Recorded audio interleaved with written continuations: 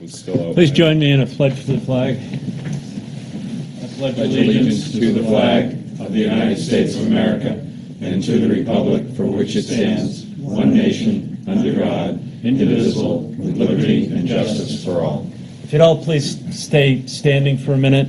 Uh, I'd like to offer a moment of silence for Marcia Hess, who was a 30-year employee at the police department, who unexpectedly passed away uh, over the weekend. So if we could have a moment of silence, please.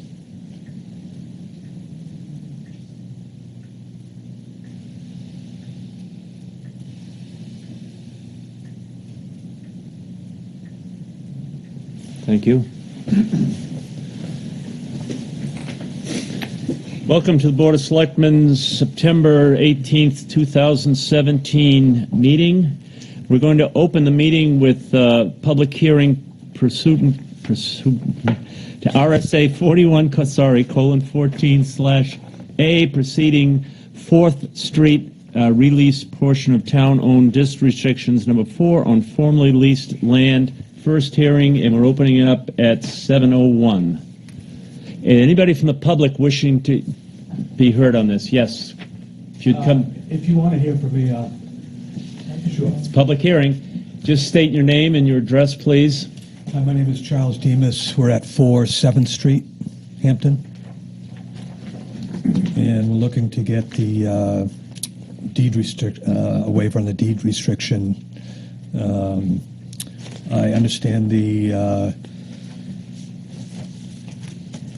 uh, we need the waiver because the existing setback rules are 20 feet uh, in our zone. Our current setback is four foot seven inch.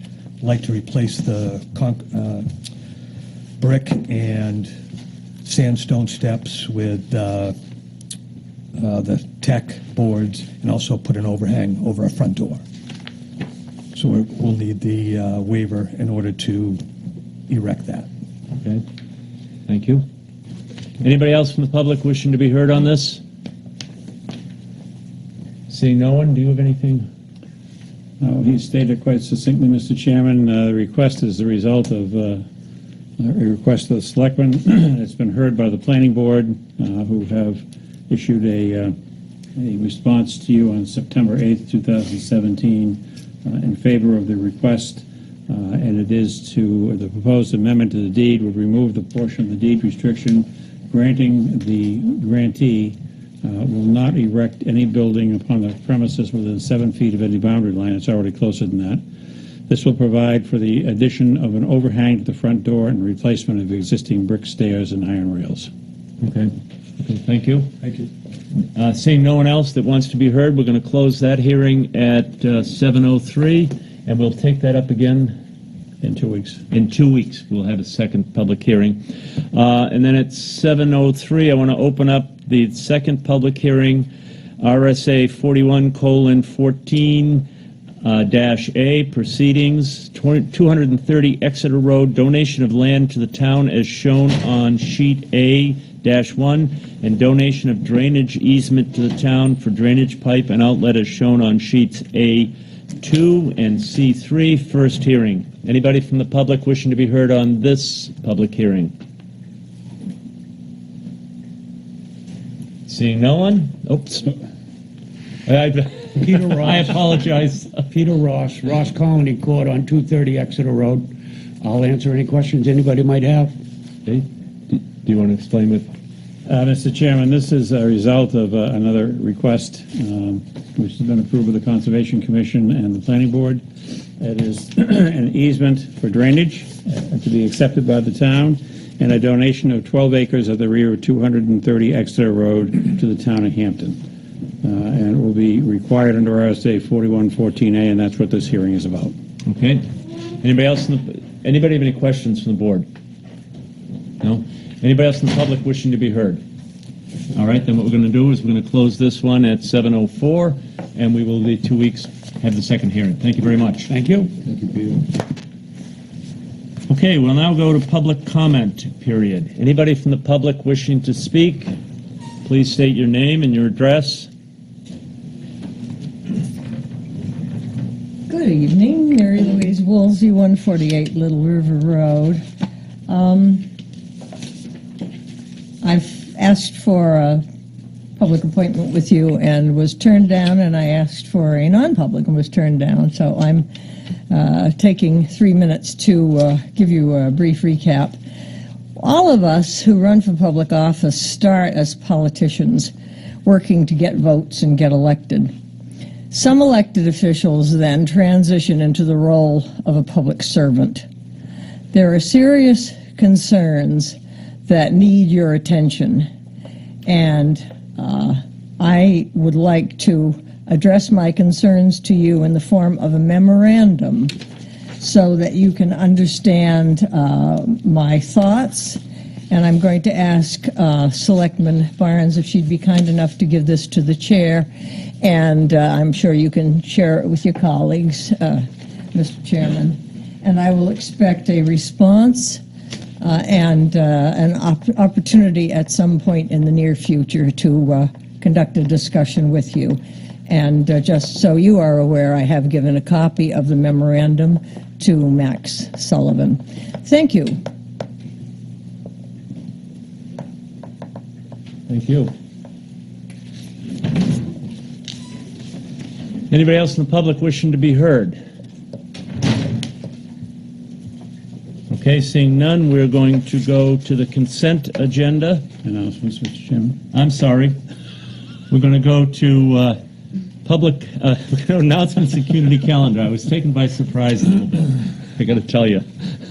Um, I have one thing, Mr. Chairman. I just wanted to, uh, in case you already know, but I wanted to uh, say thank you to Max Sullivan for writing a great article about it. Mama Leone's had its final night this past Saturday after 42 years of uh, seasonal business down Hampton Beach, and I just wanted to say many people are going to miss it. And we had a uh, great night on Saturday.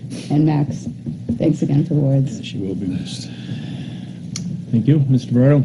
Yes, uh, last Wednesday, September 13th, Diana, Renee, and Brendan from the Recreations Department attended the New Hampshire Recreation Parks Association Annual State Conference.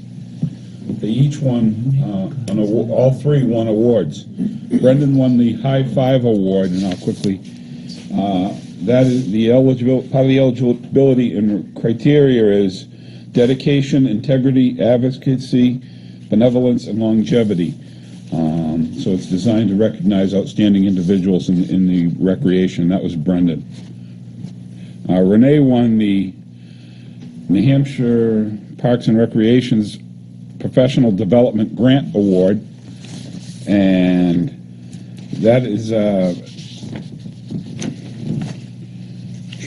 you have to applicant must be a member of the New Hampshire uh, Recreation's uh, for a member of six months. Grant money must be used for professional development purposes only. They must prepare a summary for how that money is used, and upon completion, they must submit a short narrative. So he won that one.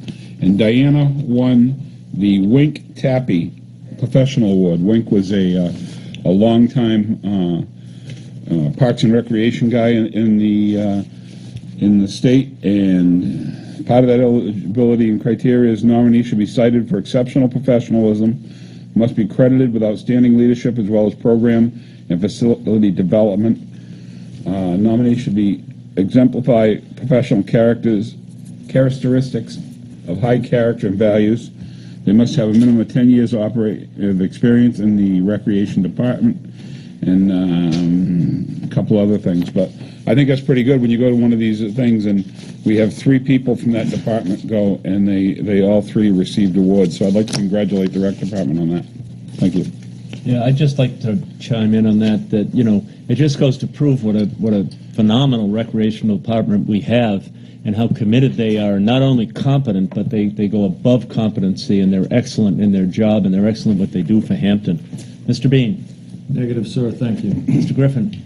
Yeah, I would like to uh, congratulate the Recreation Department also, uh, because they do work with, uh, like we've all commented here many times, with all ages. We have a lot of things for senior citizens, for children, and for young people, and there's a lot that they do, so we're, we should be happy to have them.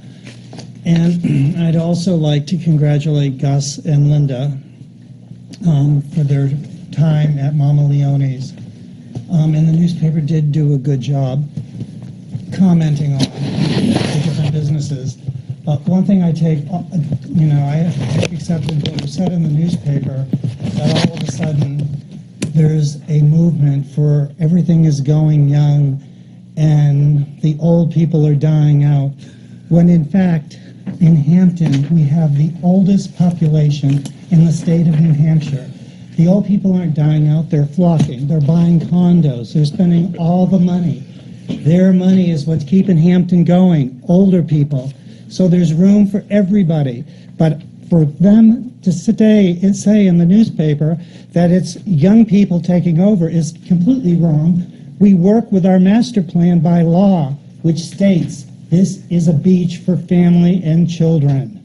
And we've worked that way for years now, and we're going to continue to make everybody happy.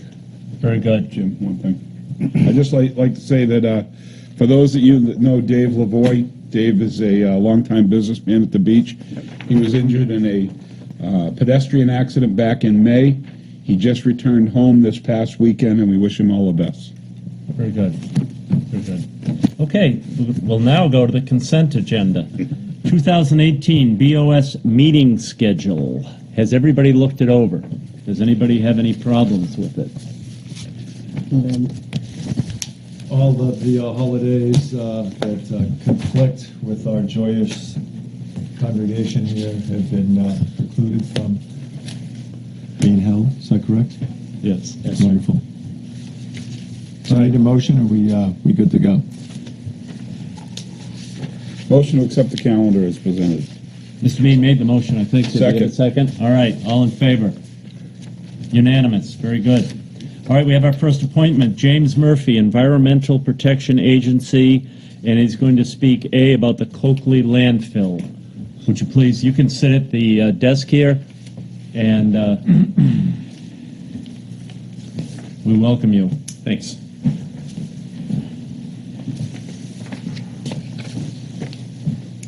Hi there. So I'm Jim Murphy from uh, the EPA uh, Region 1 office, which is in Boston. I am the, uh, the leader of our uh, government relations and community involvement um, team in the regional administrator's office.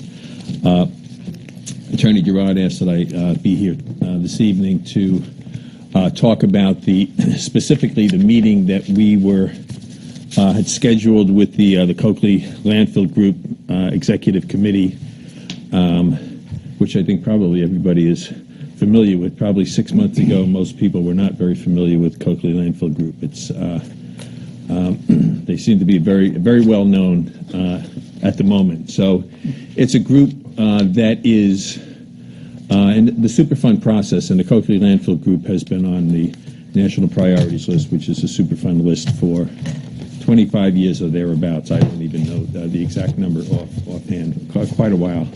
Um, at the time, uh, when, a, when a site is listed on the Superfund site, we do a, uh, a search for responsible parties. Uh, the Superfund program essentially is that the, uh, the principle is that the polluters should pay if there are uh, responsible parties that we can still find. A number of the sites we have on the list are abandoned sites.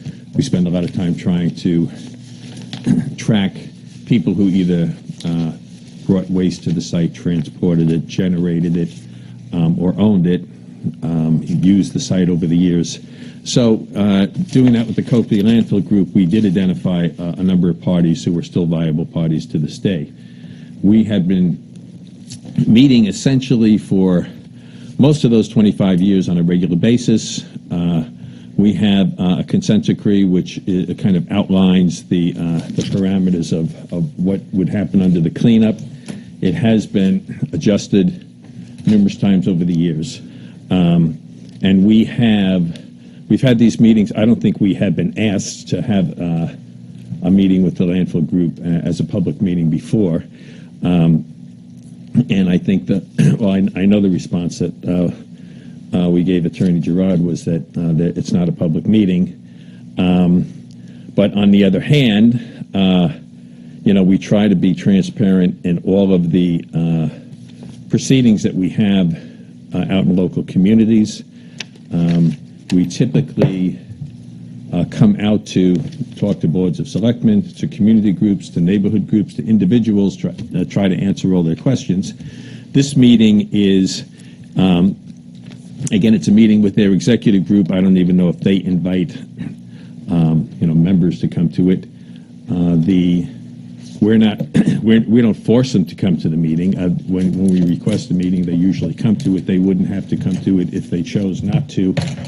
Uh, I don't think they would do that because we would eventually have to resolve that in a more legal way. We haven't had to do that. They essentially have been very cooperative, um, particularly the last couple of years uh, when uh, the the whole PFC issue has um, has come to our attention as well as most of the communities in the um, um, in the Seacoast area. So I don't know, uh, you know, what folks want me to talk about at the moment. I would rather maybe just just take some questions uh, if people have concerns. Okay, we'll open up the questions. Let's start with Ms. Barnes. Well, I think our concern was that the EPA was going to get together and make all these decisions when we're the ones that actually have to deal with the consequences of whatever the Environmental Protection Agency makes. Now, you're saying this was sort of more of a technical session. Well, it is, it is a technical session, and typically we're going to go in there. You know, we have an agenda, which is things we're going to talk about are um, uh, sampling fish in the air in the, the water bodies around the landfill, um, how to uh, potentially address uh, leachate, which is uh, contamination that is leaking from the landfill into the surface water bodies. Uh, there is the issue of, uh, of uh, PFCs at the uh, Aquarian wells. Uh, that's also something we were going to discuss. We were going to discuss uh, moving ahead with uh, an investigation of the bedrock, which has not been, we don't really have a good idea of how the contamination is moving once, once it, it gets down deep into the bedrock. So those, and, and the last thing we would discuss is communication with the public, because we are, we have had periodic public meetings. We're planning one for uh, probably mid-October to late October at this point, and we would be asking, you know, Coakley Landfill Group to participate in that meeting. Um, so there's probably, decisions probably aren't going to be made. These topics will be discussed at the meeting, then, you know, depending on what they have to say, what we have to say, you know, we'll, we'll then ask them or direct them, depending on what the issue is, uh, to take action following that meeting. We would report out to the public, you know, what, what transpires at the meeting. Um, so we're not, you know, uh, we're not going to come out of this meeting with the, you know, a list of things that we've all agreed on that are going to impact people without hearing from people in the area. Okay. No, my only concern is that you do listen to the people that are in the area. You know, we have, uh, we have water, we have, as you said, you know, Aquarian's already started to get problems going on. Right. And I think we should be involved in part of that too, where it's our, our citizens' water. You know, um, you have many people that, that polluted that, including the U.S. government. And uh, so we want to just make sure that our citizens are protected, and that's why we've we've asked to be part of this and make sure that we can be part of it. Right. Well, I think, you know, our, our goal is, is to protect the citizens, and I know, um, and, you know, that, that, it's EPA's responsibility to, um, you know, protect human health. We have certain tools that we can use. Um, you know, the Superfund program is one of them. We also have a drinking water program um, that, along with DES, regulates the public water supplies. Um, and we're going to be trying to set up a meeting with Aquarian in the near future also. Just to, we just need to gather more information. The way that we work, unfortunately, is we kind of, you know, we kind of have silos in the in our office. We have a drinking water program. We have a Superfund program. We go about doing our business occasionally. Uh, you know, we run, we have common issues. This is one of the common issues, and we are, you know, trying to to move ahead as quickly as we can. It's not as quick as people would like. Uh, you know, these are emergent contaminants that we're talking about. They are not, uh, we don't have the authority to order Coakley Landfill uh, Group to go and start sampling wells all over the place until, contamination hits a certain level. Um, that's something that people really don't want to hear. Um, I'm also would think that people don't want to give EPA that type of authority to just go in and tell people that they should be forcing them to do stuff that's that doesn't meet the criteria that's set up through Superfund. Superfund's evolved over 35 years. Um, EPA has a lot of authority, but there are a lot of things that we just can't move ahead. There are a lot of rules and regulations that we have to follow. I think people can understand that. It's frustrating at times for all of us, but we're trying to move ahead as best we can. And again, you know, the Coakley Landfill Group has been open to uh, a number of the suggestions that we've had to them, uh, we've made to them over the past months, uh, things that they have not had to do. Um, and we're, you know, we, well, I think one, one of the um, suggestions that I would have is that people here, you know, you, uh, they're, they're your neighbors. You know, a lot of these responsible parties at Superfund sites are, are multinational corporations. They might not even have headquarters in the United States. They're very difficult to talk to. These people are, are your neighbors. Um, you know, some of the towns in the area, I think, you know, approaching the Coakley Landfill Group is, um, you know, I'm not saying that that's going to solve any problems, but just to have communication at that level um, instead of just expecting that, you know, EPA is going to take care of it uh, and, you know, and get the word out to everybody, which we, we will try to do, but we do have to work through our process. You know, it's not going to hurt to have, you know, local legislators, local uh, elected officials also um, talking with Coakley, talking amongst yourselves, talking with the Aquarian. I think a lot of that is happening, and uh, and hopefully we're gonna we're gonna make progress. But again, you know, there's only so many. We we pretty much have to stay in our lane. Our bottom line is that we want to protect people um, from drinking contaminated water, uh, but it needs to you know hit a certain level before we can kind of put the hammer down and you know. Um, us shut down a well or us order somebody to provide alternative water. That can be done, but it can't be done at the levels that we found it at uh, thus far. And there's been a lot of talk about, well, obviously, Coakley landfill is the the reason for all of this contamination in the area. That may well be, but we do not have the uh, the proof of that right now. You know, we're we're trying to uh, to track it from the landfill. Um, you know, that's one of the reasons we want to meet with Aquarian to find out, uh, you know, from their technical people, uh, exactly where the wells are, how deep they are, how often they're monitored, what type of, um, you know, century uh, wells they have in the area. So we have we have a lot of information still to gather, and uh, you know, I know we're not we're not moving as fast as people would like to see us move, but we're taking it very seriously. We're putting resources into it, and uh, you know, we hope to, uh, we just hope to make progress on it. Mr. Griffin? No. Mr. Bean? Yeah, thanks, Mr. Chairman. Thanks, Jim, for coming up. Jim, uh, your title, you're the team leader for government relations and community involvement. Is that correct? That's correct. All right. Are you a scientist? I am not. Okay. Uh, do you have uh, a degree in sciences? I do not. Okay. So you're a public affairs guy? That's correct. Okay. All right, I'm going to give a little background, Mr. Chairman. I talked to you earlier and, and, and would inform you that I'd be doing so.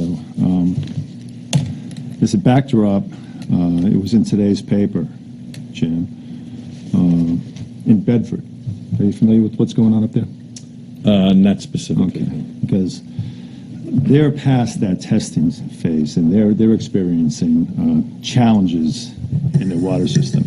Bedford's a, a, very wealthy community. They're drinking out of plastic bottles. Mm-hmm. Okay, this is in the paper today. More than 100 property owners were giving tax deductions or tax abatements, um, and they equated to about seven and a half million dollars in assessed value, which cost the town. And this isn't the important point: 166 thousand dollars in revenue.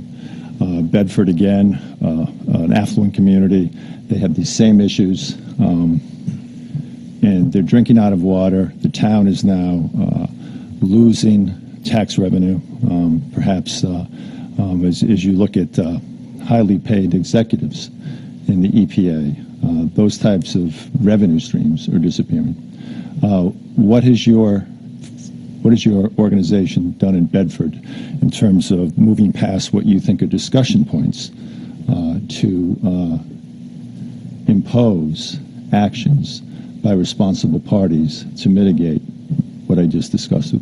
Okay, I'm not familiar enough with it. Is that where the, uh, Okay, no, no, no, and St. I'm- Gobain? I'm, I'm gonna, I'm just gonna, I'm, I'm, I'm- and this, this gets to the point of the issue, okay? And this is strictly, strictly factual. There's nothing personal, and, and we've sat before, okay? You're not a scientist. We've got people down the road, okay, uh, that are drinking out of plastic bottles, okay? You're the EPA. We just heard you comment that uh, you're in discussion points that you don't have a good idea what's going on, uh, and that uh, um, there's consent decrees out there. So um, I'm not panicking. I'm talking about facts, and uh, that's right up the road. The EPA uh, is like a lot of federal agencies, um, and I will tell you, and again, uh, Mr. Chairman, I told you I'd talk about this as background because this is fact as well. Uh, I'm on the uh, website for the Camp Lejeune Water Commission, okay, in the water study. And between 1957 and 1987, Marines and their dependents and children were drinking water that causes eight deadly diseases that have been recognized by the VA finally. Okay, I, I don't think uh, the EPA was especially uh, uh, active in that. And when you read these eight cancers, they're scary, and they look painful, and they're deadly, and children are getting them. And finally, in 2016, um, these men and women and their dependents finally get a little cooperation. Okay, uh, from uh, federal agencies. Okay, well past the discussion point. So you see my point on that, don't you? well, I I know you Uh, do because it, it doesn't even need a response. And then I will say, and further, with service in a federal agency with a top secret security clearance with the United States government, that all of my uh, records, confidential 126 page reports on me and my family and my history and my life, um, was was swiped, and it's a big deal this week when Equifax does that for people's credit reports, and the data was stolen, uh, and then not told to us um, for months and months and months later, is out there on the web my entire life. Uh, another federal agency that allowed that to happen, the Department of Defense. So I will tell you, and I would tell the board, and I would tell this town that factually, uh, I don't have any confidence that the federal government is going to protect us. Now, you specifically said there's some consent decrees that are out there. Mr. Gerald, does the town of Hampton have a copy of the consent decree, the initial consent decree, and any amendments or alterations or additions or subsequent filings of that? we do. We do. Okay, I would motion right now that that be, all of those be put on the town website. Second. Do you have any comment to make on that? No, I, uh, they're, uh, they're very lengthy, but uh, we'll see if the town website. I like to read lengthy things when we're talking about cancer and water. Yeah.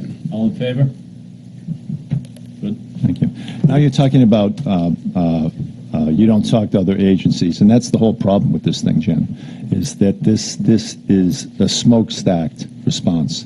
You've got the United States Air Force, you've got the United States Navy, United States Department of Transportation, you've got municipalities that have polluted. All right? Now you're a government affairs guy.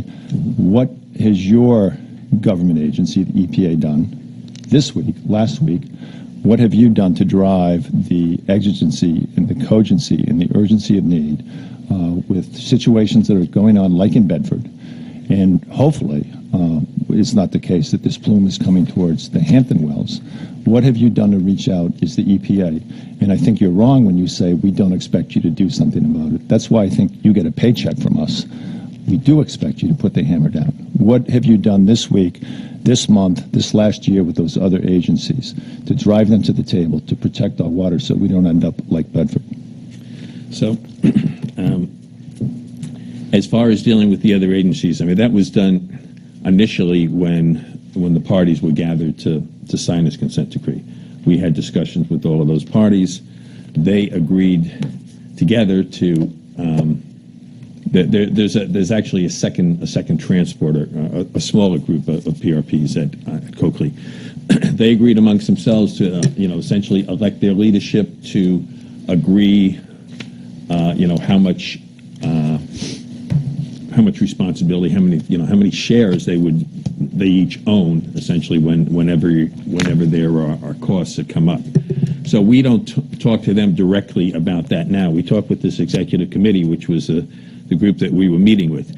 We have, um, you were mentioned a number of Department of Defense entities. We've worked very closely with them at other sites. We have worked with them, excuse me, very closely at Pease over the years.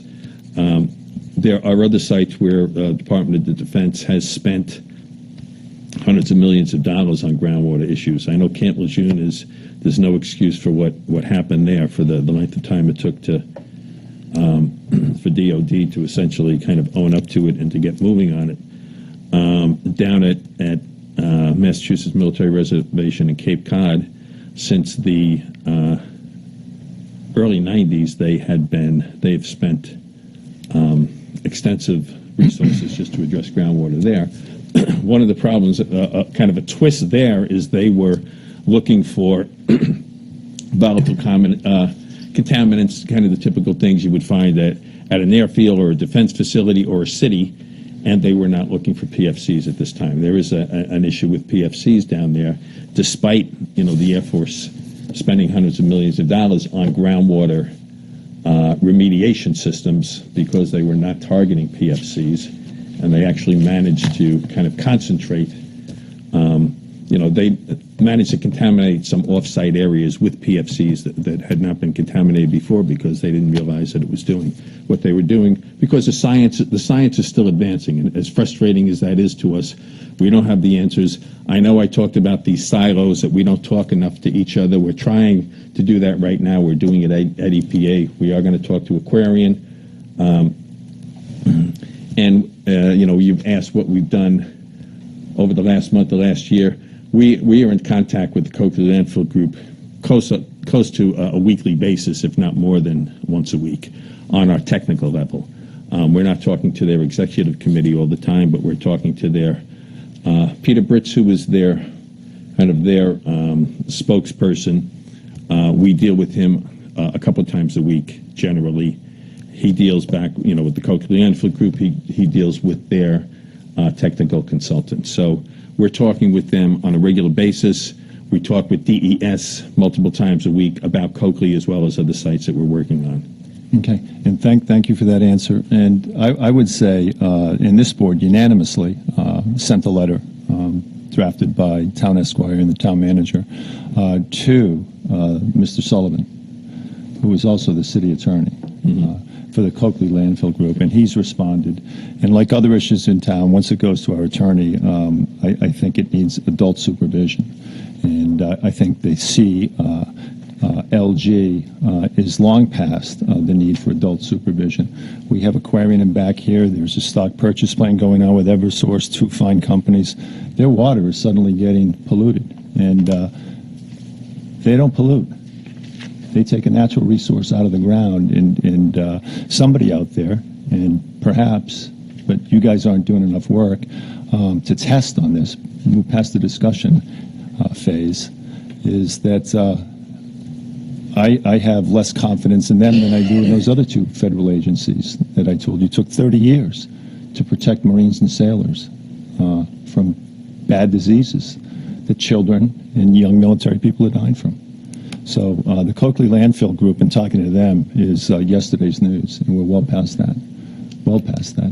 What have you uh, done, Jim, as the uh, government affairs, uh, chargé d'affaires, if you will, as the team leader in Boston?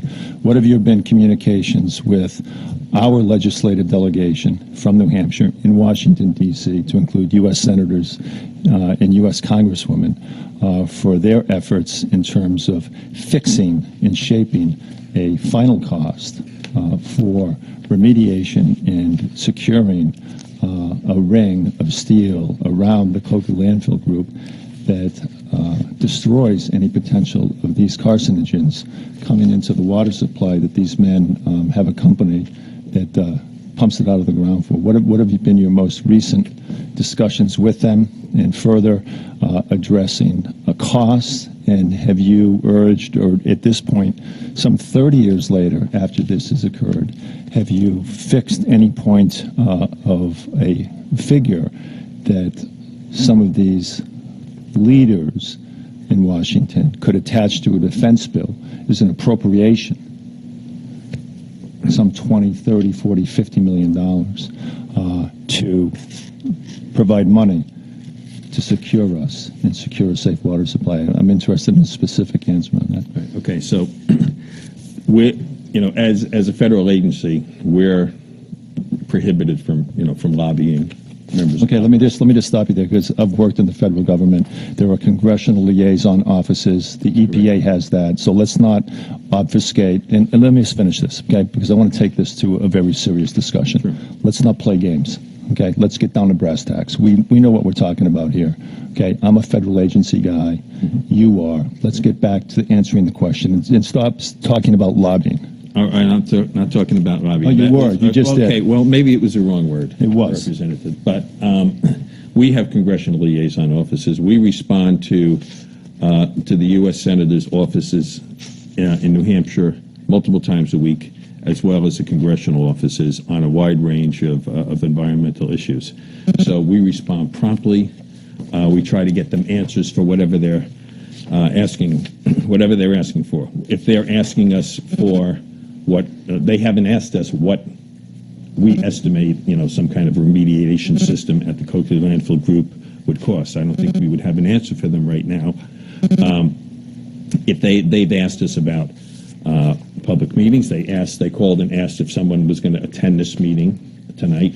I mean, we get calls from um, Senator Shaheen and Senator Hassan's office on regular basis, emails, and not just on Coakley, on many other um, matters in New Hampshire. So we try to respond to them. As far as uh, state legislators, we try to respond as best we can. Um, we have some restrictions as far as um, you know testifying at state legislatures. Uh, hearings we can we have to get special permission to do this we we have done that in some cases uh, so I don't know if that answers your question I'm not to, we, we we respond to our uh, to the legislators And, and, I, and I've met with them, and others in this room have, and I don't find that uh, uh, those staffers, and I have uh, specifically sat with uh, a congresswoman, uh, with state reps, with a state senator, with Representative Messmer, and they don't have a grasp on it. And this is 30 years later. And two of our uh, senators were governors in this state that lived right down the road here. And what I'm specifically getting to the point at, Jim, is, and again, this is nothing personal. This is strictly business. Okay, and it's a serious issue. Is uh, I'm interested in uh, those testing wells, okay, being uh, drilled immediately. I'm interested in the Coakley Landfill Group paying for it. I am interested in the federal government paying for it. Here comes uh, a representative also that was been at some of these meetings. I'm interested in, and this is personally, and both as a rep and as, a, as a, someone that drinks the water. After 30 years, is that your agency does something. Okay, you say in your memo that there is a, a scientist that's gone to Puerto Rico. Is that correct? I said that well our lead scientist on this um, on this site is from Puerto Rico Yeah, he's, they're in uh, he's Rico. scheduled to probably go there I got that. And you know what? We all feel for the people in Puerto Rico, but uh, uh, this is New Hampshire, and uh, Puerto Rico just last year declared bankruptcy. They stiffed people they owe money over. Well, I- I hear me out. Hear me out. Okay, Hear me out. Okay, we pay our bills. We want Sure. clean water, and we're expecting you. To, we're expecting you to task people with science. And We're we're expecting you to task people with the Coakley Landfill Group to do the drilling and solve the riddle of where these PFCs are coming from. That's what we want. So we're not ending up like Bedford, and you're not doing it. And this and the congressional delegation's not doing it. And the United States Air Force isn't doing it. And there's a simple solution. And it's above everyone's pay grade here. And it's for, for you people to use your liaison offices. That's what it's there for. And it's not lobbying. It's to pick up the phone and say they have taken the attenuation route, which was the lowball effort 30 years ago, and now in emerging science with carcinogens, we have a huge problem. And that's what I expect, and that's the end state. And that's what I, I'm sure the board feels about this. And, and that's, that's why we have an EPA. It's not for you guys to, uh, um, you know, have discussions and, and think about stuff when, when the whole world's crumbling on. It just isn't. You guys aren't earning your paycheck. You're just not. And you're not a scientist. And Mr. Chairman, I, I would uh, defer, uh, Mindi Messmer has called today. She is a hydrologist. She has legislation. She is on uh, governor-appointed and, and uh, legislative body-appointed commissions. And I would uh, ask that she be allowed to ask Jim questions pertinent to Hampton's interest in this issue. Could I just respond first? Yeah. Okay. So the uh, uh, Gerardo uh, Ramos, who is our, our scientist on this, may be going to Puerto Rico. If he goes to uh, on the hurricane response down there, um, the work on Coakley is not stopping. Uh, however, if I said that uh, in an email or a memo, it was just to let people know he's not available for a, a public meeting for a while. The, the work is not going to stop. We have other people other scientists who are who are at work on the Coakley uh, project. It's not going to stop. Thank you, Jim. Arado is not available for a meeting. Thank you. And I, I was going to respond to something else, but I, I forget what it is, so I'd be happy to uh, take other questions. Now, what was your request? Representative Messmer, who is spearheading uh, this this issue on myriad fronts, both in uh, government, government and governor-appointed commissions, uh, has questions uh, that uh, directly impact and are specifically directed in the interest of Hampton water drinkers. And I would like her to be able to ask Jim questions. Does the board have any objections to that?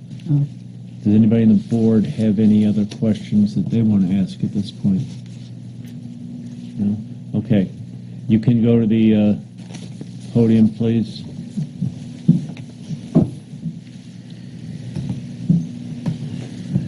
So, um, Introduce yourself. so we I'm know who you are. Representative Mindi Messmer from Rye, New Castle, and I've been heading up the Coakley Landfill Subcommittee for the Governor's Task Force for the last year and a half or so, and been actively involved in this situation um, for the last year and a half, um, investigating the possible causes of cancer cases in the five-town area.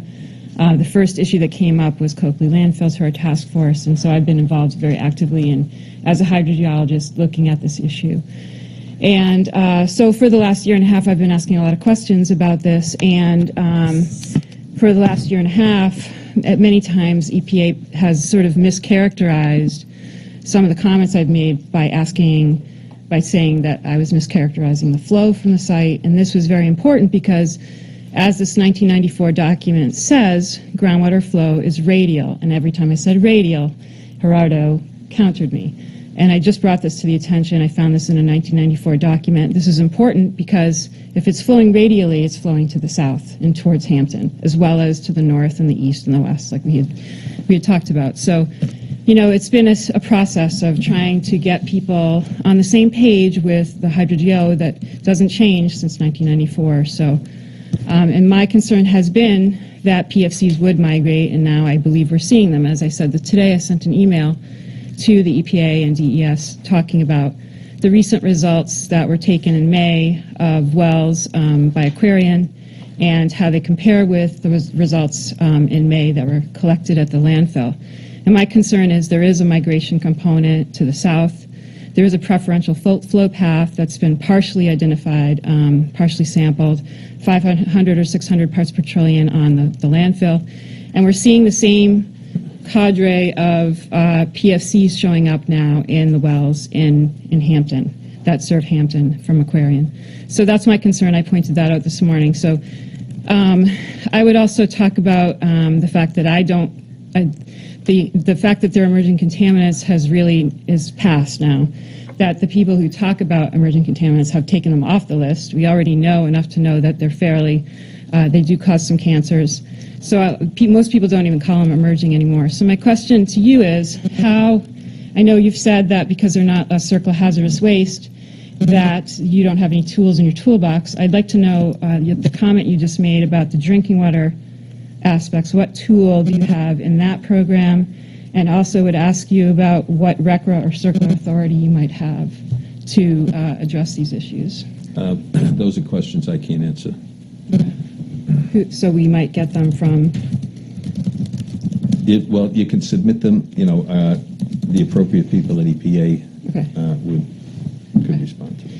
so uh, also, about a year ago, I submitted a comment response letter to the to the EPA about the five-year report, talking about how, because we have PFCs, the selected remedy for the site is no longer applicable. And I was going to get a response to that by the end of September of to this year, and I haven't seen it. So I'd like to see when that might be coming, because that talks to whether or not the remedial measure implemented is appropriate or not. Obviously, I don't think it is, because now we're seeing migration of these very persistent chemicals to the south. So, Right, and I think we, we agree that there, uh, that the remedy as it exists is, is not adequate at the okay, moment. so the EPA is saying that now.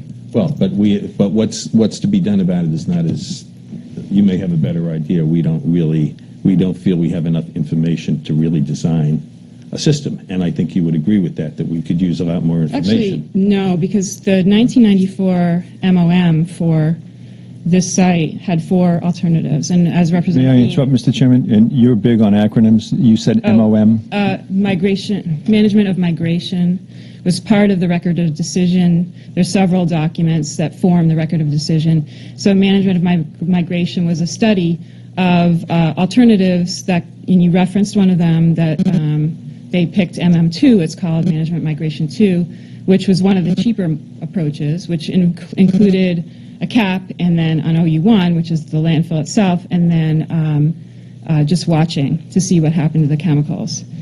So So, if I can say, so the, the contamination that that was designed to address, Right. that, exactly. So that, and that's my point, is that in this last five-year re- review, that's not appropriate anymore, because we know that that is not working. So I would say brush off the 1994 MOM, I just have been looking at it for the last five days, actually, in very, a lot of detail. Take MM4, which is the active remedial measure to control migration off the site. There's already detailed cost estimates in there. There's uh, a cost estimate which included at the time only VOC and metals um, treatment. Take those blocks out, stick in the GAC. We know how much GACs cost. Uh, Portsmouth has very successfully implemented a pilot program there. Slide that in as a cost estimate, and it only increases the budget about $380,000 over the 3.2 million that was in the MOM, and it should be good to go. The, the hydro doesn't change since 1994, so I don't, I don't really think that that's a big issue. well, uh, I mean, I'm, not- I'm not a scientist, I'm not going to disagree, but what I've been told by our scientists is we don't really have enough information to, I don't know if, if this system addressed uh, groundwater that was migrating radially, radially, or if it was just in for one, Well, one direction. Can I just interrupt for a second? Sure. What I'd like to do is keep this on, Ji- I mean, I'm, I'm not letting the EPA off the, off the uh, hook at all, but Jim was here for a specific reason, and if he's not a scientist, if we're peppering him with questions that he's unable and unqualified to answer, I don't think Right. that that's right. Right. I think that if, you know, if we want him from a public, a government thing to bring it to the EPA, that's different, but I don't think we should be firing questions at him that he's unqualified to answer. I don't think that that's correct. Well- I think, wait a minute, uh, let me finish, please. All right? I think he came here specifically to talk about the, the fact that why the meeting wasn't public. And I think that's an issue that we're dealing with. So, I mean, I agree 100% with what the questions are. But if he's unqualified to answer the questions, we're going to sit here and, and just keep getting, I'm not qualified I, I would I would offer this is that uh, these questions go on the record that we're driving uh, the end state, uh, which is not satisfactory at this point, and that Representative Messmer and Representative Edgar is here, if he would like to come up to the table, ask pointed questions for a detailed response from a government agency that we pay for. Thank you, Mr. Chairman. Okay, would that be more of a, of a state issue? Right now, I know it's a Coakley landfill that we're talking about, but would that be more of a, from a representative's point of view than from a selectman's point of view? I'm just trying to keep this meeting on task. Go ahead. I just have a question for you. Sure. You keep saying you don't have enough information. Well, I guess what we want to know is what is happening to get you the information that you need. Because right now, we have a private company that's going crazy, testing everything for us. Mm-hmm. All right, so I just, I guess I don't understand why they can do that for their municipalities that they serve, but why the EPA is not doing it for the region that is in peril of this dangerous water, if you're eventually becoming dangerous water. Right. That's, that's my question. What, what are you doing to get the information you need? Well, we, we've asked the Coakley Landfill Group to install some additional wells at the site, which they're in the process of doing. Um, again, it's not, you know, it's not, you just, you don't just drill a well and, and, you know, pump some water out and that, and that's it. There's just a lot of parameters and steps, and I think Mindi could probably talk about those a lot more. You know, maybe it's not happening quickly enough. Uh, I- I'm not going to say it, it, it is, um, but it's, uh, it, it's, it's not that simple. We're going to be asking Coakley to do more. They, again, have proceeded on most of the things we've asked them to do. So, um, you know, as far as what Aquarian's doing with their wells as a private water supply company, that's, you know, it, it's a different regulatory um, scheme there. Um, I'm not familiar with what they're required to do uh, by DES or even our, our uh, uh, drinking water program. They're actually going beyond what they're required to do for the Right. sake Well, of so is the people that Coakley are drinking their water. at the moment, so. All right, thank you. Mike, do you have something to add? Well, uh, I haven't been involved in this to this point as much as a lot of other people, in, uh, including uh, Mindi and, and Rennie. Now Regina's getting involved uh, with the uh, the committee, and I've been put on as an alternate. We'll see if the state accepts that. But from the perspective I've been seeing, it does appear that uh, I use the analogy of Stalingrad. It, it appears that we're not getting the answers, and it, it, it almost it seems to be one obstruction or reluctance to continue something or give give you a timeline on what's going to happen time after time after time, and it just keeps on stretching out.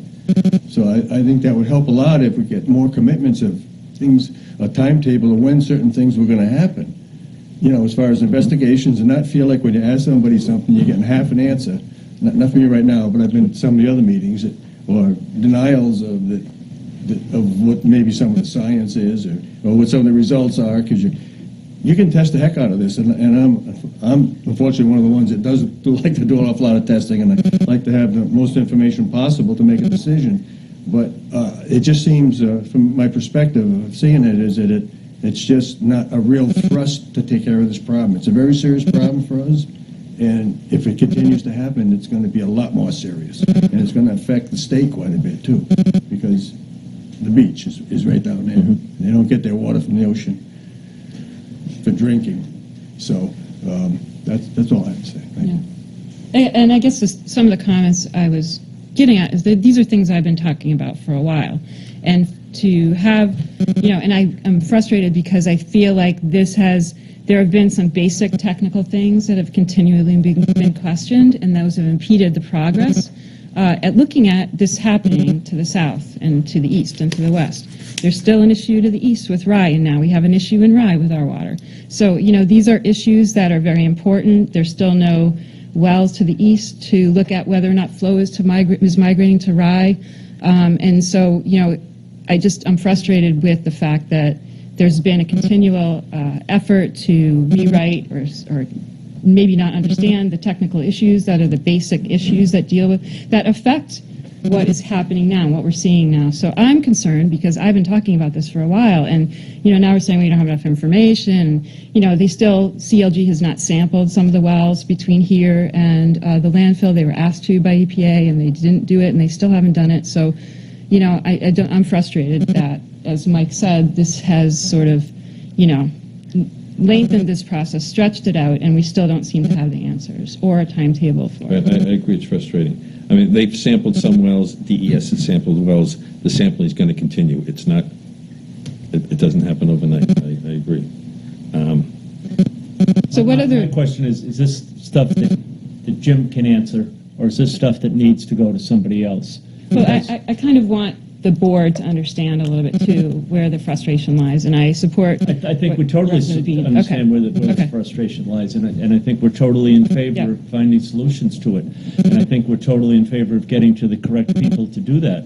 And I think we're totally in favor of, that the meetings should all be public.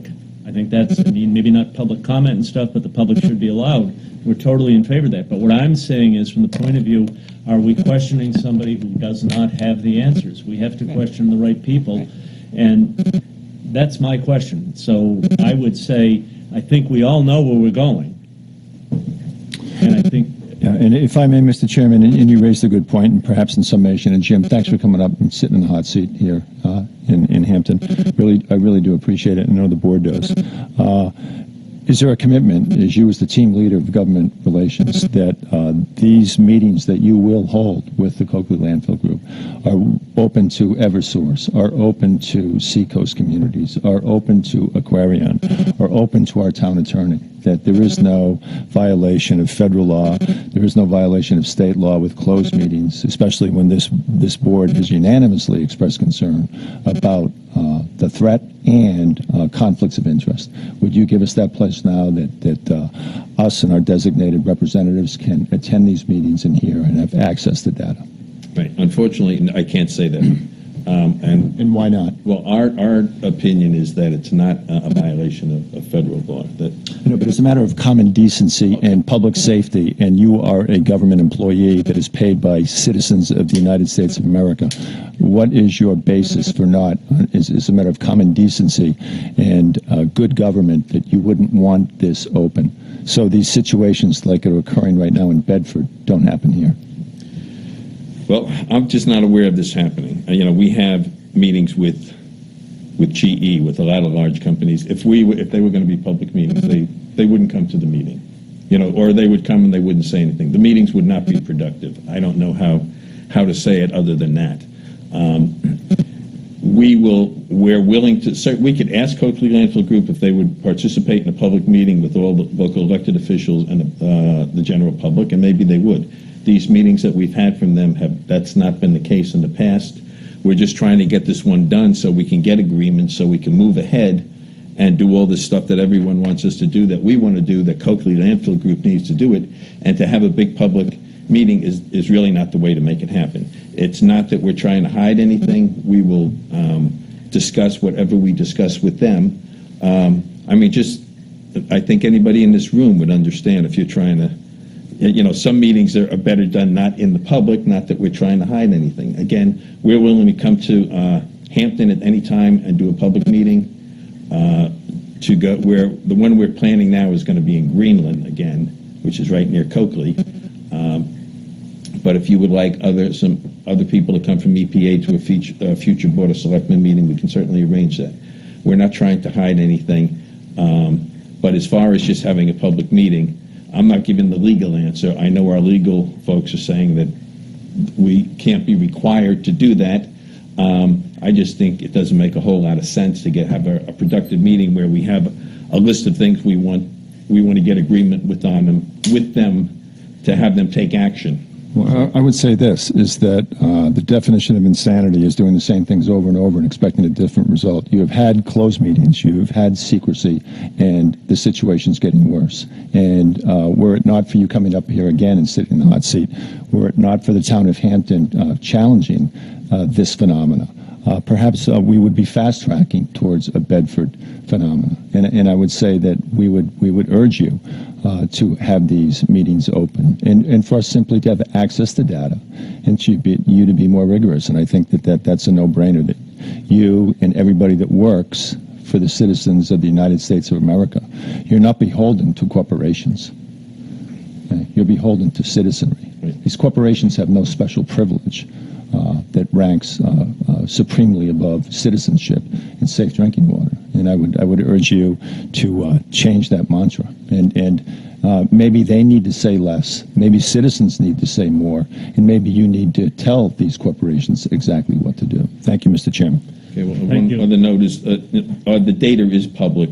Um, You know, all the data that is, uh, that comes to EPA from the Coakley Landfill Group is, is available. You know, we try to not make, when it's, uh, uh, private wells, we try to, you know, black some of that, with withhold some of the names, but all of the data is available.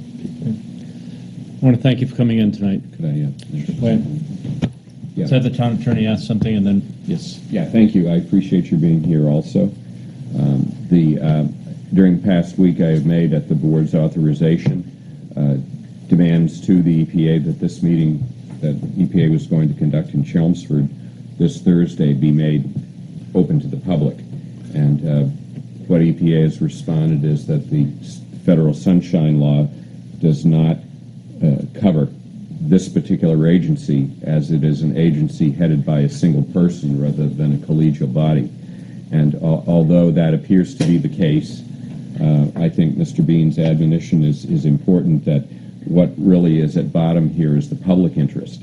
I did want to report, though, that Coakley Landfill Group itself conducted a public meeting in North Hampton on August 15th uh, regarding how it does business.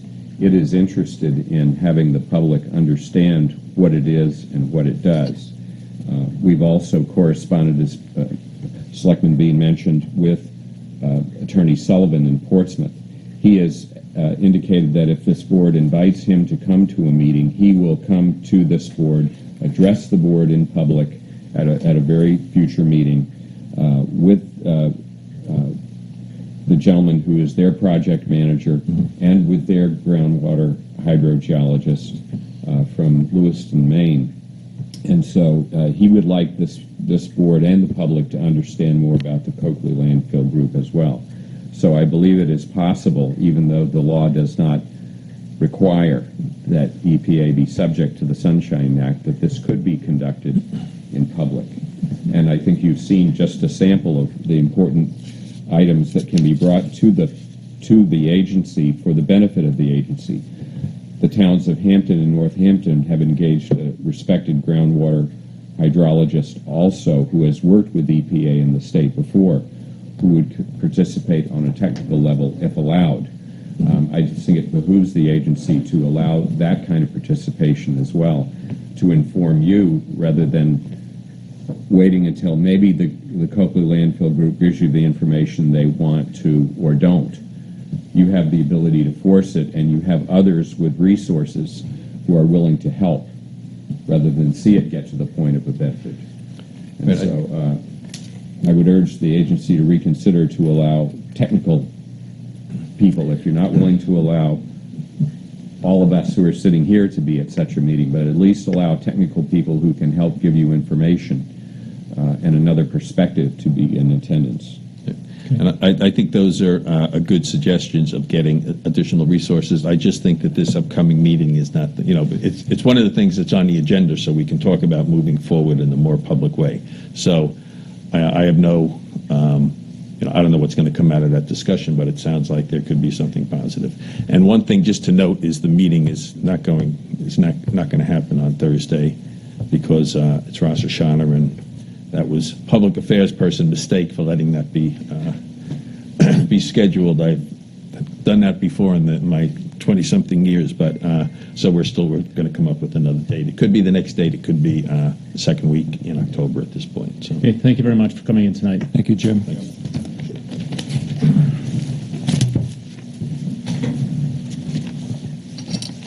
All right, old business, no, I know, town manager's report. Town manager's report. Mr. Chairman, members of the board, pleased to report that the Commissioner of the Department of Natural and Cultural Resources has responded to the Selectmen's request of June 6th. I believe you've all received a copy of the letter, so that you've had an opportunity to review it. A reminder, the State Department of Transportation, our Executive Councilor, and the Regional Planning Commission will be holding a public hearing on the state's 10-year plan for transportation needs on Monday, October 16th at 7 p.m. at the Hampton Beach Seashell Complex. Drakeside Road is scheduled for milling and repavement, uh, repavement applications starting on September 20th, just around the corner, weather permitting, and it doesn't sound like the weather's going to be too good for the next few days, but that's one of the things that they're planning on trying to do. Uh, And I'll ask again, please, because we've been seeing traffic again, please avoid Academy Avenue during school hours as buses are discharging students on the street causing long traffic delays. I can, Mr. Chairman, tell you that uh, starting technically on September 20th, subject to weather, uh, that there will be a detour on Haddad's Way and traffic, truck and otherwise, will be going down Tide Mill Road. Haddad's Way is in the process of failure.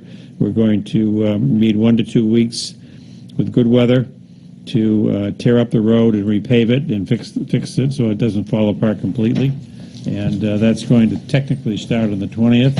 I sus- suspect, sir, that uh, it's going to take a little longer than that before it starts because of the weather we're having. And I also have a schedule here, handwritten, that was given to me. In addition to odds, uh, they're going to be starting work on the 21st on Drakeside Road. Uh, They'll be reclaiming the road. They've got several thousand square feet uh, in which they need to reclaim. Um, They're also going to start on the 25th, they're going to start Woodland uh, and uh, some of the other roads that uh, need repair that are on this year's list. And at your next meeting on the 28th, I will be going through the entire list for that week, but Haddad's and and Drakeside and Woodland are all on the the work schedule for this coming week. That's in addition to um, the work on Lafayette Road, which is scheduled to uh, to begin very shortly, and it's going to go run from 10, 10 p.m. to 6 a.m. Uh, but again, that's weather depending, and we are having a storm coming in the next two days, so I suspect nothing's going to happen there until the end of the week. Did you say our next meeting on the 28th? I think it's the 28th, 25th. 25th, okay. 25th. 25th. Okay, questions for the town manager? Regina?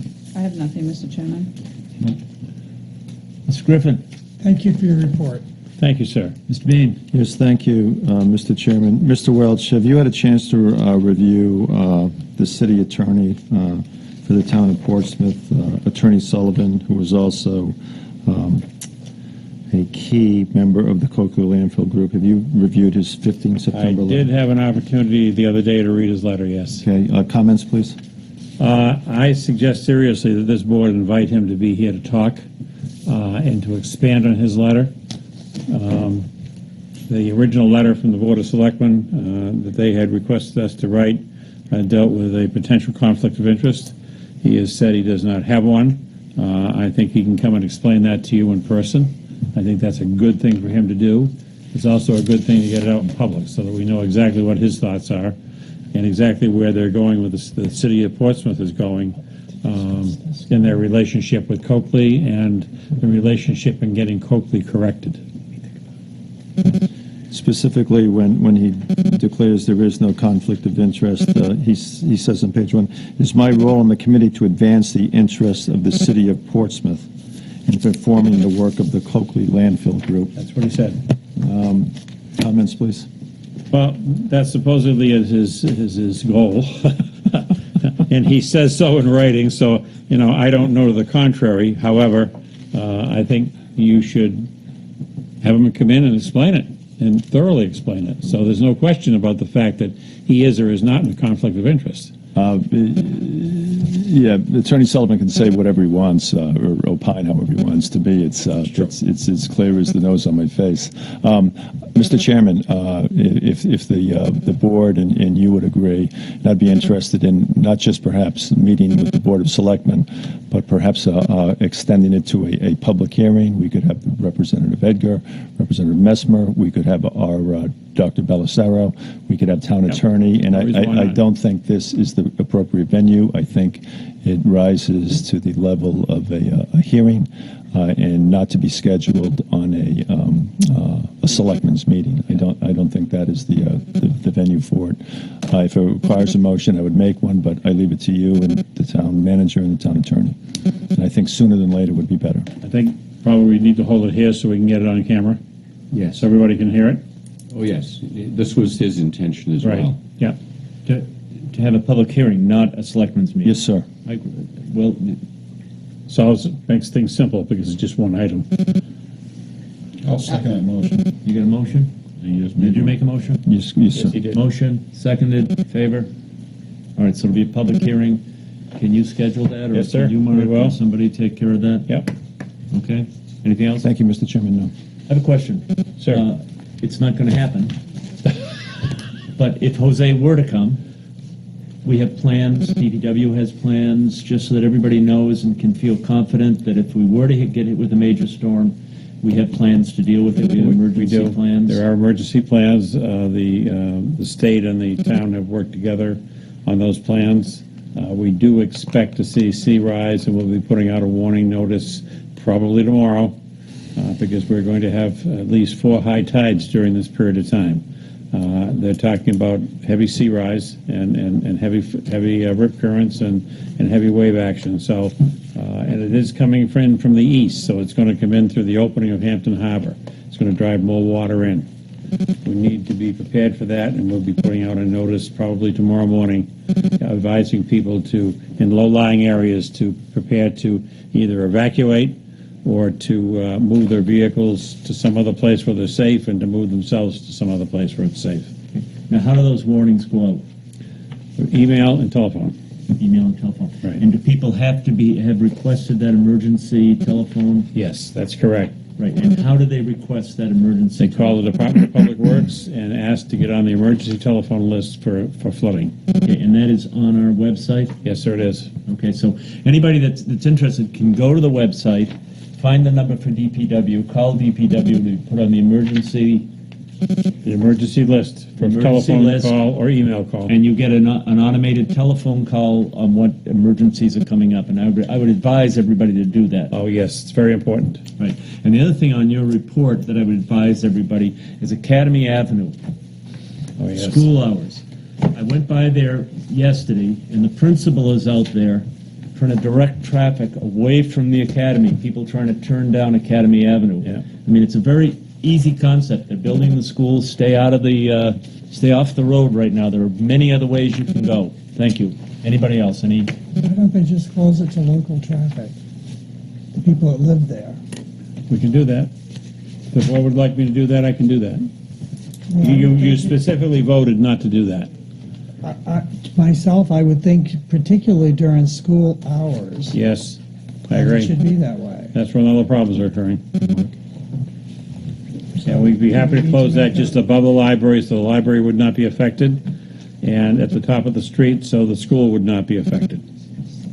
And if the board agrees with that, we'll have it closed. Should we check with the school first to see We will if that talk to will- them. See if they want us to do that. See if they want us to do that?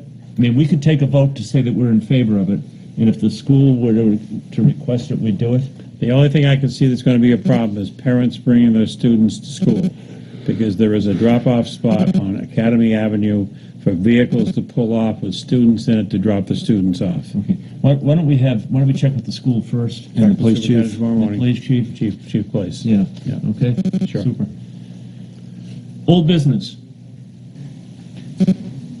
Regina? I have nothing, Mr. Chairman. Rick? Phil? Negative, sir. Mr. Yeah, we have, uh, we had the, we, we got our response from, well, it used to be DRED, now it's whatever it's called, uh, to your letter. Yes, So does that, uh, we had a motion last week to follow that further if we didn't.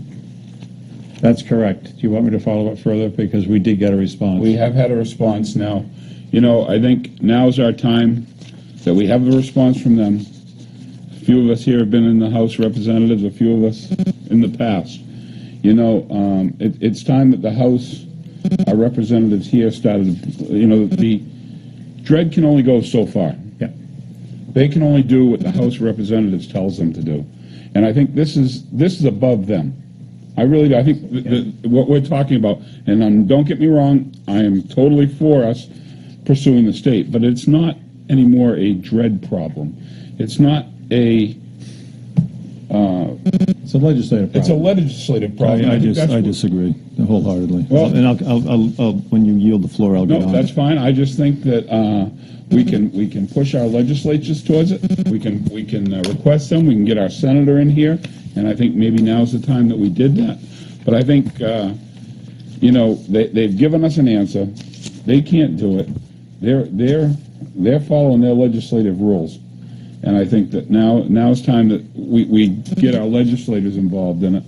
And it's gonna be a tough uphill battle up there. And I think, but I think that's where it is. I think we, uh, as far as I'm concerned, they got back to us with their, with their, their response.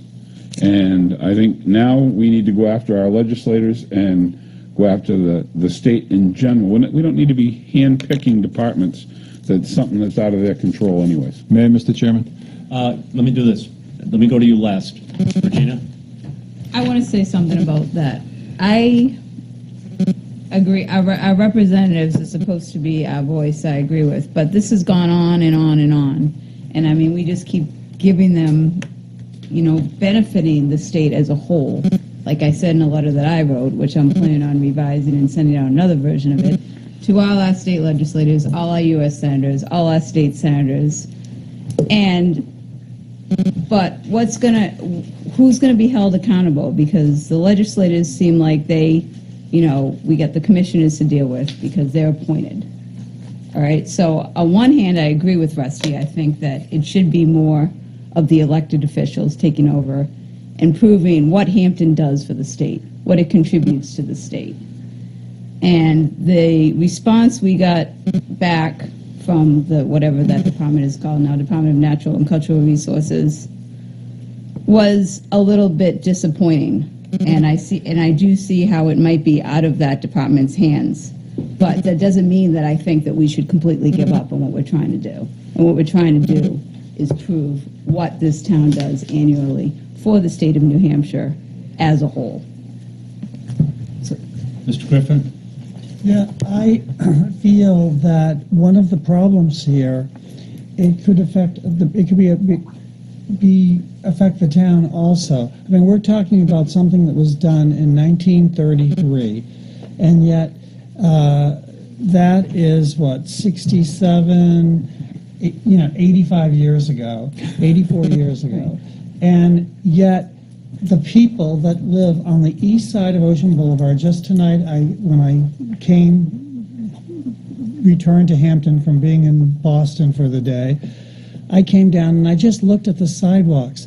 They're unbelievable. The sidewalks that, if you want to look at them near, um, uh, from that Stacy Janes to where the beach starts, they're completely uh, just flattened. There's no curbs or anything. Over and over again, all these new condos and that that have gone in there, nobody can get an answer either from the state or from the town.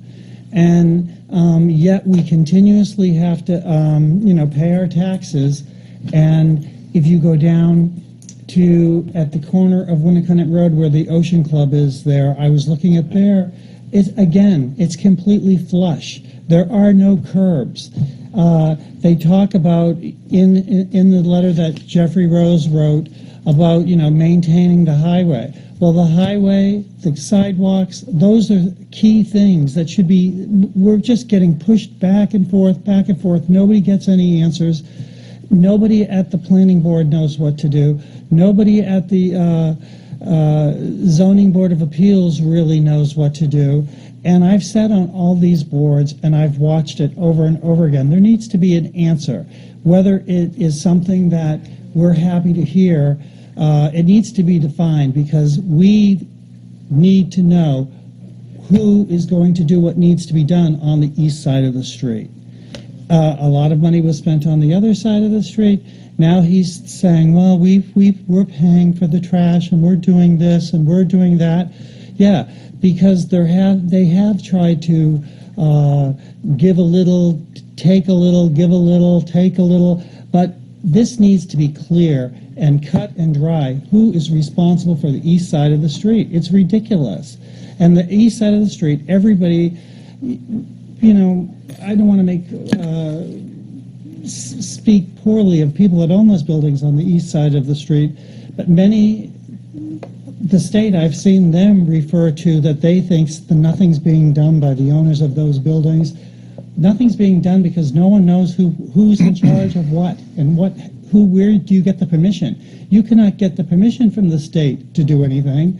And then you cannot get permission from the town to do anything. So these things have to be decided. We just can't sit here and say, okay, we're all, you know, 1933, that was the big depression, and we're still being depressed by everything that happened in 1933. I think it's all. Thank you, Mr. Chairman. Uh, There was a vote at our last meeting. Uh, It was five to one to execute. Uh, I have served in other townships. Four to one. Four to one. Uh, And uh, I w- I would hope we're not in the position because a bureaucrat uh, in Concord uh, corresponds with us two days after we make a motion to pursue legal action and sends out a letter. Uh, and uh, there are other frost calls to the uh, Concord to inform uh, certain elected officials that it was coming. So nobody was blindsided on this. I would hope that this board, when they are votes of four to one, three to one, three to two, whatever they are, that the following week we don't start coming back in here and having change of heart uh, and start rescinding motions that carry. Uh, and I would say, especially when uh, our staff, led by Mr. Welch, led by Mr. Gerald, under the chairman's leadership, was a finest finance director in the state with our department heads. And we're talking $700,000. $700,000. If we're going to offer supplications and become sycophants and yield on bended knee in front of our citizens and our taxpayers to bureaucrats in Concord over $700,000. Uh, and if we are going to uh, ascribe to the notion that what has never been done before in Concord uh, is to uh, advance Hampton's interest, and I know personally, with the legislation that I've put forth up there that didn't make it out of committee, I know the people in this very town that are former legislators that have attacked me for absurd ideas. Uh, if they're happy to let those $700,000 of taxpayer money go through, then so be it. But if that is the will of the board, is to reverse uh, decisions that have been made and that have been brought on through five and a half years of, of real hard work and intelligent work and accounting and finance and depreciation, then don't expect anybody to ask for one cent more as we go forward in this budget. Don't ask for a pay raise. Don't ask for any capital expenditures. Don't ask for any pay raises for people, union negotiations.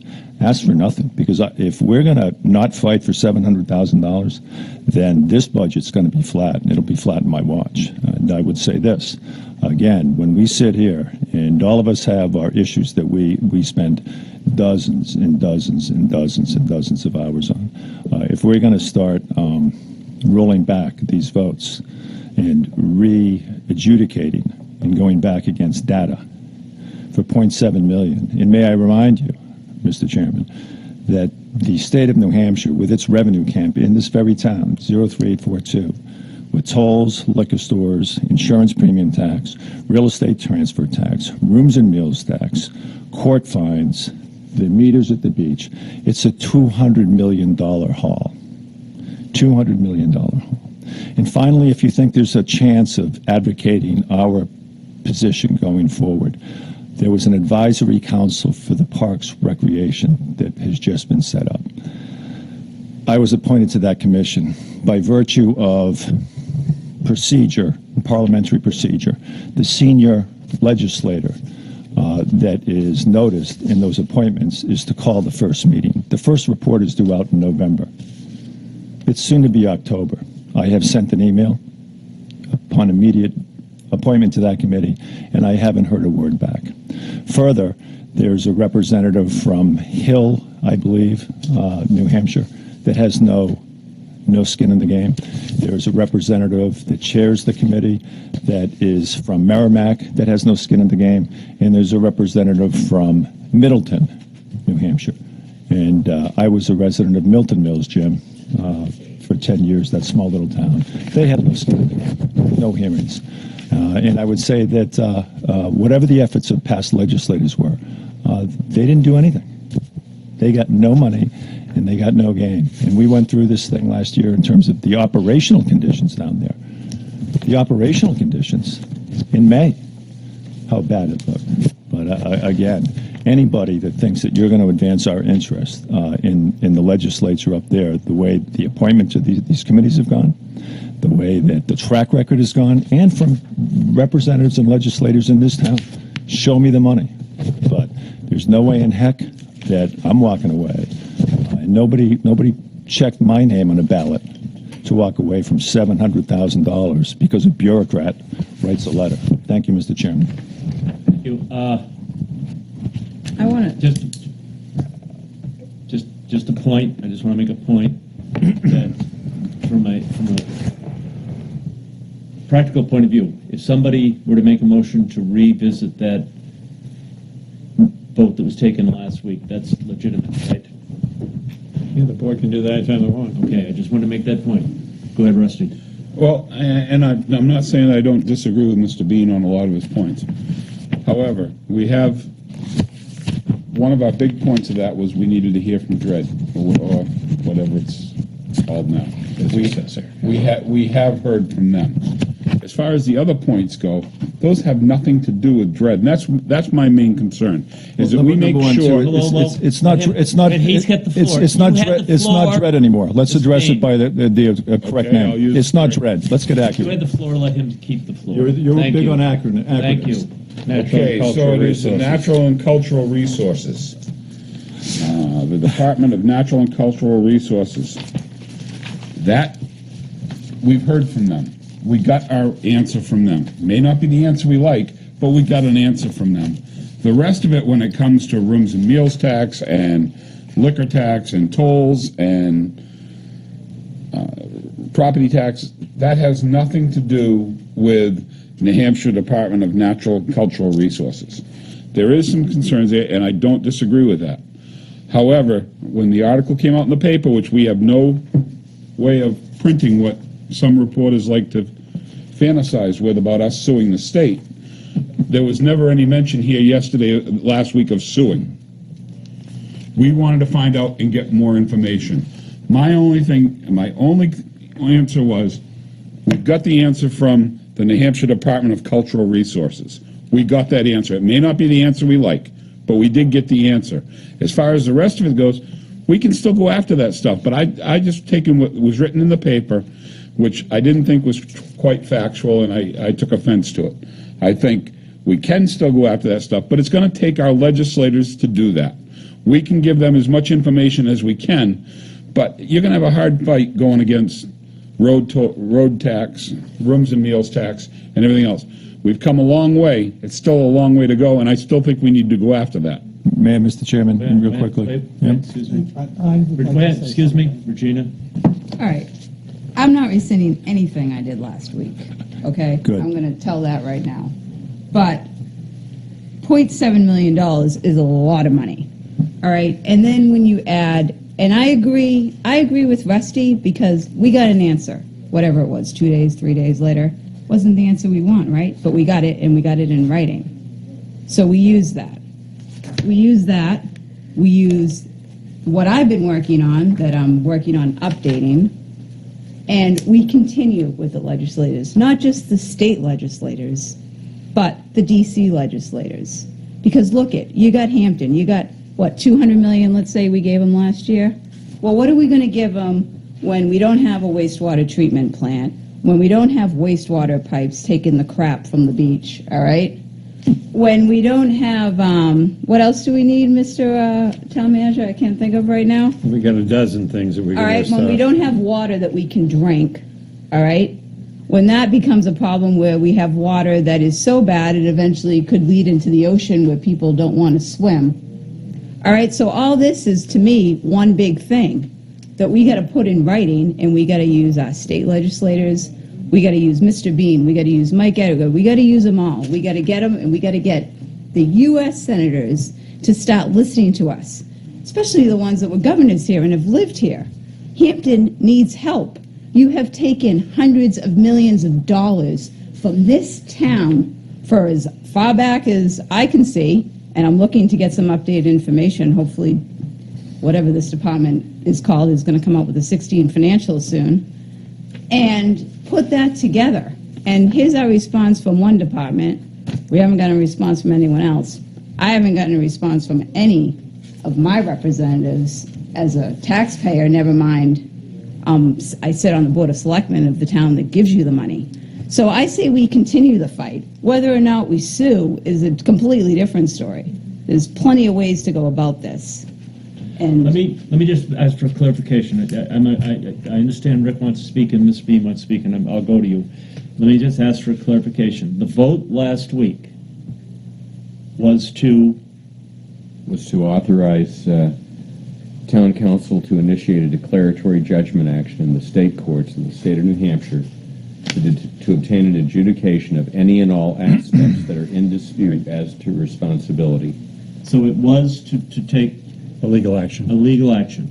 Authorized, yes. Okay, I just want to clarify, that, that was the vote, and it was a four to one vote. Let me Just Yeah. clarify that, good, Rick. Yeah, and uh, myself, I don't care if it does take a lawsuit. I, all I care about is that there is some answer to who is in charge of what, particularly when it comes to the road.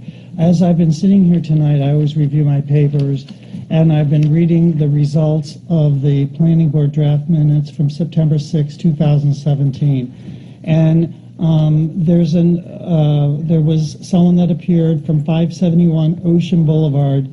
Um, about, part of it has to do with a, a one foot by one foot retaining wall around a detached garage. Uh, and the people mentioned that the property, they've owned it since 1945. This particular barn that had that retaining wall has been there since 1878, which is about 10 years longer than what my property's been there. Uh, and their big problem is that the water drains off the road into their yard right and fills up. This barn has been used for years. Now all of a sudden it fills up with water.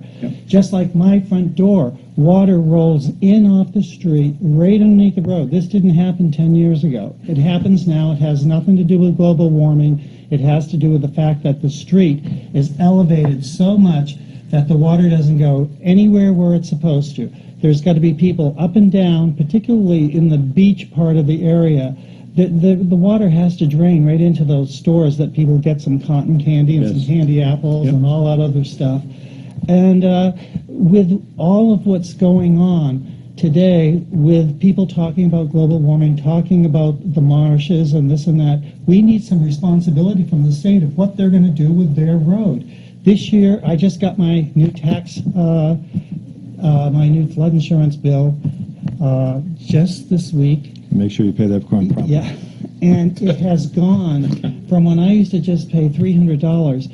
Last year it was forty-one hundred. This year it has just been raised to fifty-one hundred, and next year it's going to be sixty-two hundred. This is ridiculous, and I have never had water except for the one time in the storm of seventy-eight.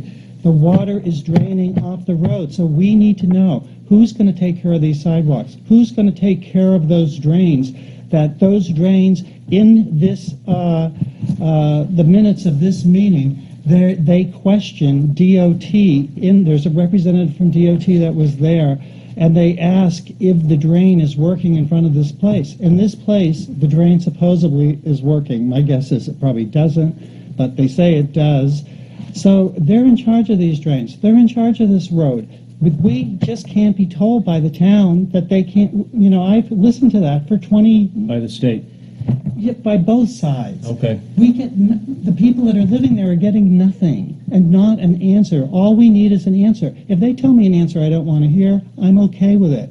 But I want to understand that that answer is the right one and that we're all getting what we're supposed to get. Okay. Mr. Bean? Yeah, I would say this, Mr. Chairman, is there's uh, three uh, constitutional cabinets of government and in this state and in this country. There's the executive, which would be our, our governor. There's the legislative, which would be a body that I serve in, that both you and Rusty have served in. And oftentimes, when laws are made, when governments at the executive and the legislative do things, uh, the citizenry, the, the sister corporations, if you will, the town of Hampton, this incorporation that you sit in front of, Mr. Chairman, uh, are aggrieved. And uh, the process is broken. And it's a bureaucrat, and he's a bureaucrat. And check out, and it's nothing personal. And I've called for his resignation. I think operationally, and I think in terms of the response and how we're treated and what we hear, he's unqualified for the job. Period. I've said that publicly. But now we get into the issue where this same bureaucrat writes a letter. Now he's the judge, and he's the executive, just like the gentleman from the EPA. And this is nothing personal. Jim was just in here. He has no answers. He doesn't have a timetable. They talk. The water's polluted. Bedford's losing $166,000. He didn't even know about it. He's the EPA. And you listen to these people. And people are dying. Served at Camp Lejeune. My family drank the water. My brother's family drank the water. Go to that website. Look at the Camp Lejeune water fiasco. Read those diseases. Sleep with one eye open. Incur that, that data theft that Department of Defense, you serve your country.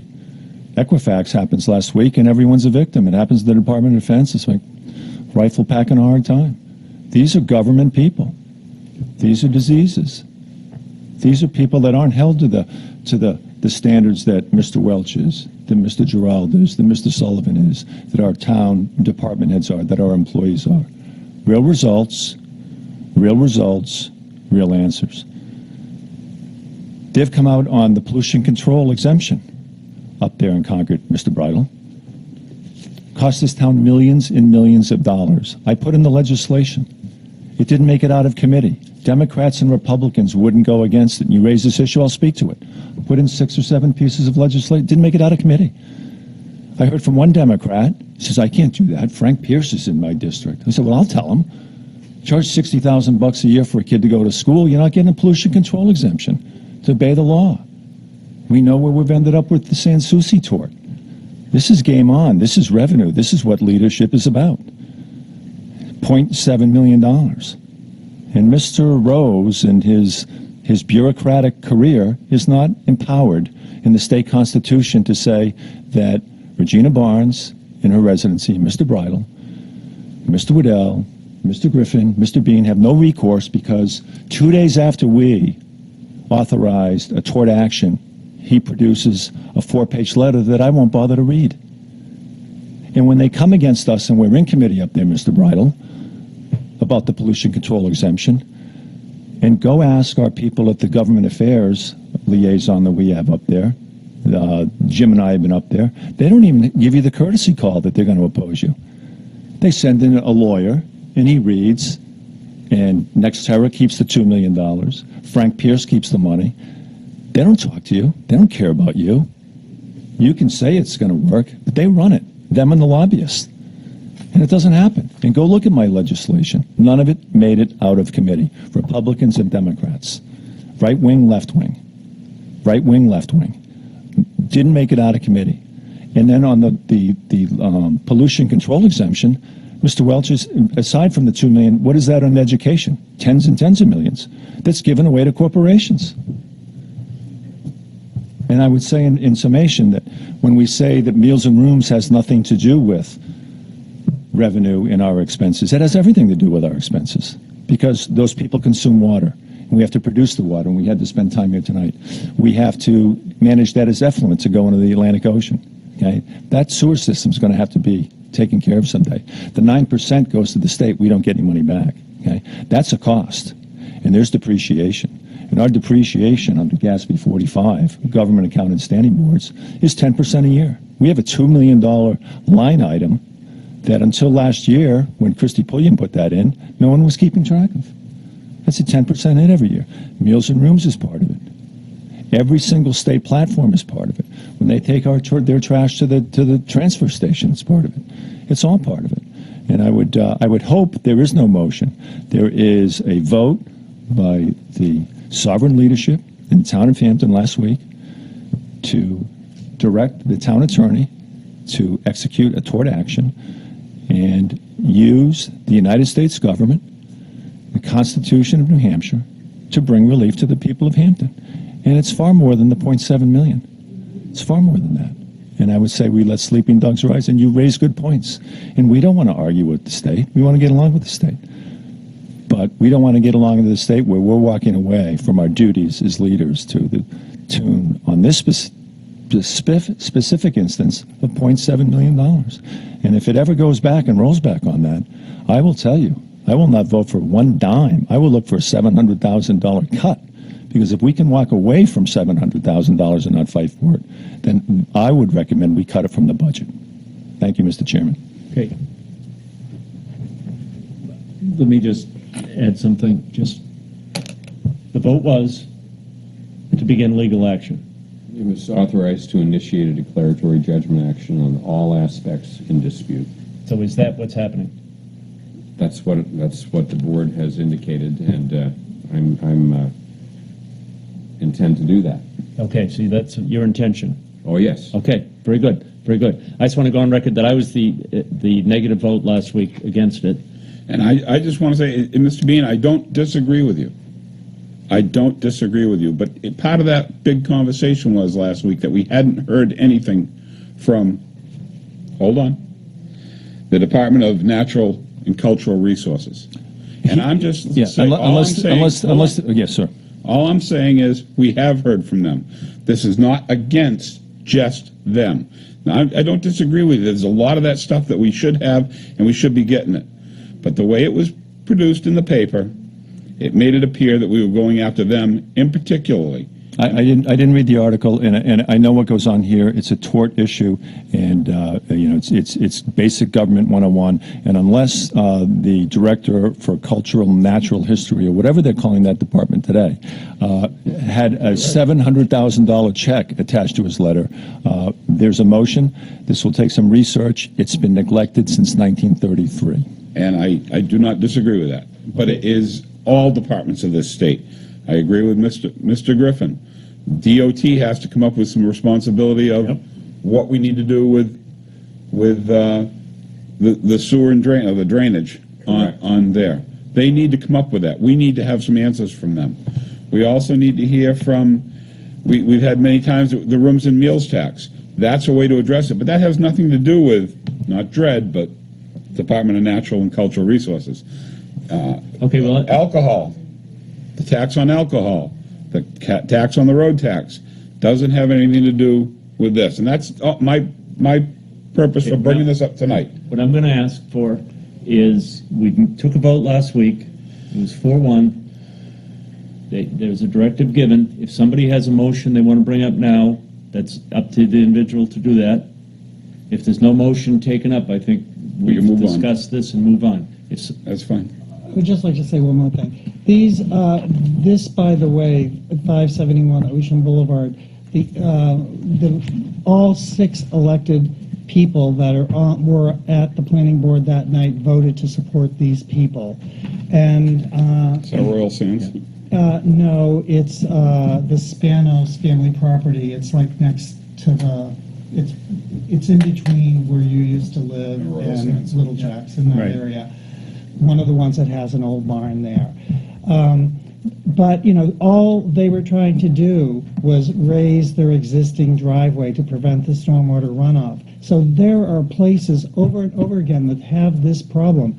And one of the things, uh, the, the study that we're doing at the Hampton Beach Area Commission, um, is this particular area and a lot more has been left out of the plans that they're planning, have been left out of the 10-year plan. Um, and that's why on the, I believe it's the 16th, I, unless something is more pressing here, I plan to be at that 7 o'clock meeting because it's also a Monday night.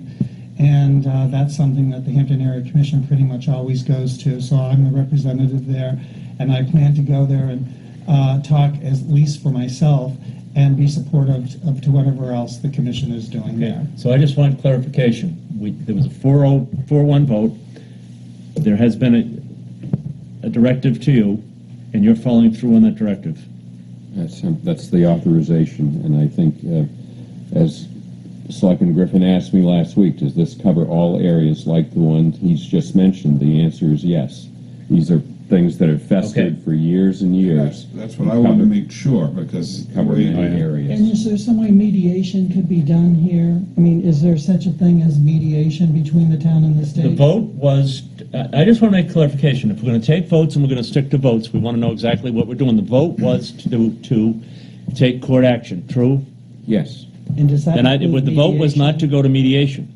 The vote, right, and, and, I- and I would say this, Mr. Chairman, and, and pardon me, Mr. Gearreald, is that uh, when, when we have these votes, they're serious issues. This is a serious amount of money. It is unrequited response. It is negligent in terms of its delay. Uh, the pattern of abuse is perennial. I consider this a, a, a legal issue. Mark Gearreald is the attorney. We can talk in general specifics, 700,000, the philosophy. He is the attorney, and more comment is now a legal issue. He will take time to research it. He has other important taskings. But he has been ordered as an employee through the town manager to execute this tort. And it's exciting, and it's nothing personal.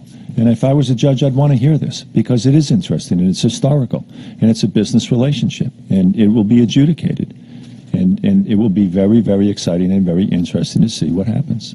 Thank you, Mr. Chairman. And, and just the answer to Mr. Griffin's question is yes, as part of litigation that's commenced in the state court system, there is a mediation process that can be. So we don't have to be hard-nosed. We can talk about it. Oh, yeah. Okay, as long as, I just want to clear said what the we- what the motion was. Well, that's, it's up to the judge. Thank you, Mr. Chairman. All right, new business. Establish school zone 20 miles per hour, Winnacunnet Road easterly from Academy Avenue to Mill Road. This is the result, Mr. Chairman, of a request, because we have a preschool located across the fire station that would cover that area. We have a lot of traffic turning and going in and out. We have little, little children being taken across the street. Uh, and we've had several requests for a school zone in that area to protect them during school day. And that's what this is all about. Do we have a, uh, do we need a motion? We need a vote? Yes. Can I, can I, a little discussion, Mr. Chairman? Yep. Wh- wh- How does that work from center school down towards when it Winnacunnet? Are there, are there gaps? I mean, it should be. No, cons- there's no gaps. Well, We're adding to that existing area. Yeah, but, and I agree with Mr. Bean, we're stopping it at Mill Road, and then By 50 the feet up cemetery, road, right. We're putting in another one for the high school. Why don't we just make it all from where it starts up here? It's a landing down to road. The other high school. We can do that. It's a landing road. If we can make that motion, Rusty? Sure. I'll make that motion that But we, how is it, how did they have it here?